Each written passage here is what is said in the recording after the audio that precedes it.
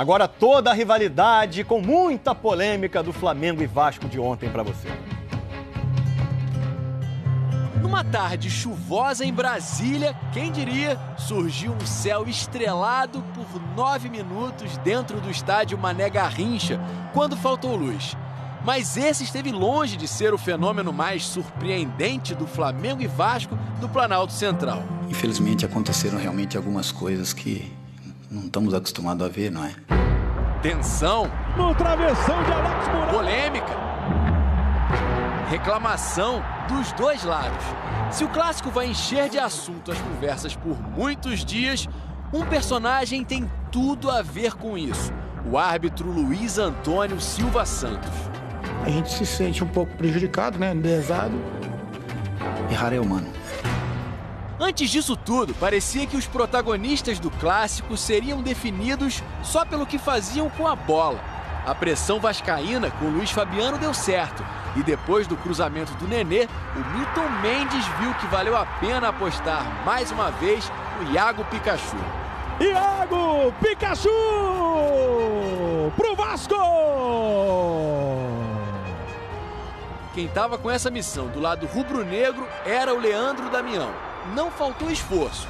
Com a cabeça, ele estava acertando a bola, mas com o pé, ele e ela não se encontraram na hora certa. Furou, Damião! Se a vida do atacante do Flamengo estava difícil, a do Vascaíno, o Luiz Fabiano, ficou ainda pior e foi bem longe da área quando ele fez essa falta no Márcio Araújo. Aqui a gente começa a falar do árbitro Luiz Antônio Silva Santos. Ele deu um amarelo que deixou o fabuloso furioso. No encontro entre os dois, o árbitro perdeu o equilíbrio e o atacante o direito de ficar em campo. Cartão vermelho aos oito minutos do segundo tempo. O lance todo mundo viu, não preciso eu estar tá falando, né? É a interpretação de cada um.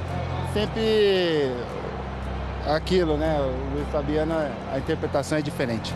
Diferente seria também a história do jogo a partir dali. E o Flamengo cada vez mais perigoso. O Hever fez um gol anulado, apesar de ele não estar impedido.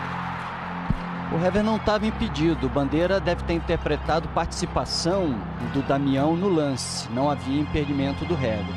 Mas quatro minutinhos depois, o do William Arão valeu. Cobrança de Manquejo vem na cabeça de William Arão. Na pequena área, subiu mais que Jean e tocou no cantinho do Jordi que ficou imóvel, estático, nada pôde fazer. Os rubro-negros não se contentaram com o empate, mesmo já classificados para a semifinal do estadual.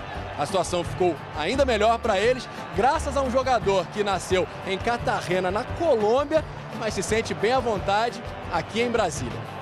Berrio tinha feito o primeiro gol dele pelo Flamengo aqui mesmo, contra o Grêmio. E dessa vez, a virada do Flamengo saiu do pé direito do Berrio. Bola na ponta, Berrio no drible, bateu de direita. Gol! Um domínio importante do Berrio, a tranquilidade para escapar do marcador e depois um chute forte a meia altura. Esse teve o status de gol da vitória até os 47 minutos do segundo tempo, quando o Nenê tocou a bola na direção do René. O árbitro Luiz Antônio Silva Santos confundiu a barriga dele com a mão. Pênalti pro Vasco nos acréscimos. O René saiu em disparada para cima do assistente. Para ele, não houve o desvio. Eu falei até ele, se a bola tiver batido na minha, na minha mão, eu não quero mais jogar futebol na minha vida. Na maioria das vezes é contra a gente e uma vez veio pra gente. Por causa desse erro, o árbitro e o assistente Daniel do Espírito Santo foram afastados até o fim do Carioca. 49 do segundo tempo. E o Vasco teve a chance de sair de Brasília com um ponto. O Nenê correu pra bola e marcou de pênalti. E o Vasco se vale de um erro da arbitragem, dando um pênalti que não aconteceu.